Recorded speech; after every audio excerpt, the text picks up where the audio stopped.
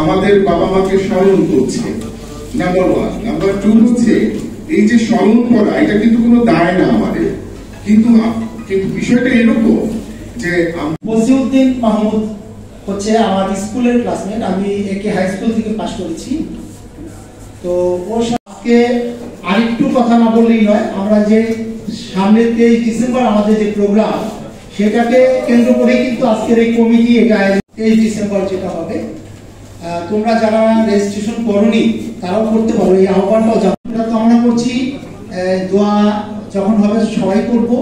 আমার পক্ষ থেকে আমি খুব ব্যথিত, আমার স্কুলের ফ্রেন্ড আসলে আমি বলে শেষ করতে পারব না। তো সকলের সুস্বাস্থ্য, মঙ্গল কামনা করছি। আর এখানে আমাদের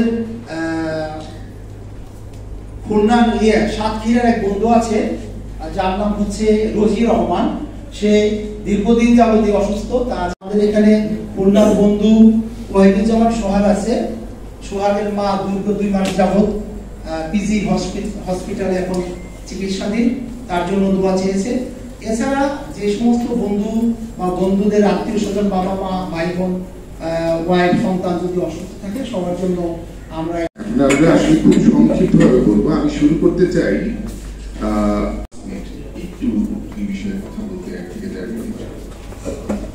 জাতীয় বিরোধী দলের কেন্দ্রীয় নির্বাহী সদস্য সাতক্ষীরা পিডি সরকার সকলের কাছে সরকার হিসেবে পরিচিত, ডাক্তার মোহাম্মদ শহীদুল আলম ডাক্তার মোহাম্মদ শহীদুল আলম নতুন করে মুক্তি মুক্ত করেছিলেন।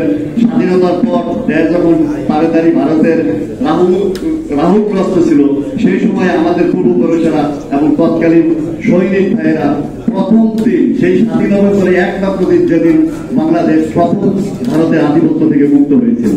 তবে স্বাধীনতার পর কেন সংগঠিত হয়েছিল, সেটা আপনারা যদি বলতে চাই ইনে ওয়ার্ড যদি বলি, তৎকালীন সরকারের একটু বিষয়ে কথা বলতে এক থেকে দেড় মিনিট আমরা কামনা করছি আহ, দোয়া যখন হবে সবাই করব।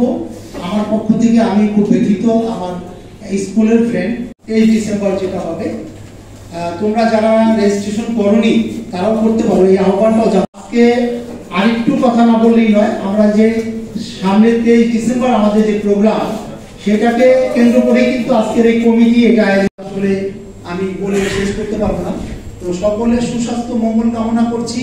আর এখানে আমাদের আহ, খুলনার ইয়ে সাতক্ষীরার এক বন্ধু আছে যার নাম হচ্ছে রোজি রহমান। সে দীর্ঘদিন যাবতীয় অসুস্থ তার আমি খুব সংক্ষিপ্তভাবে বলব। আমি শুরু করতে চাই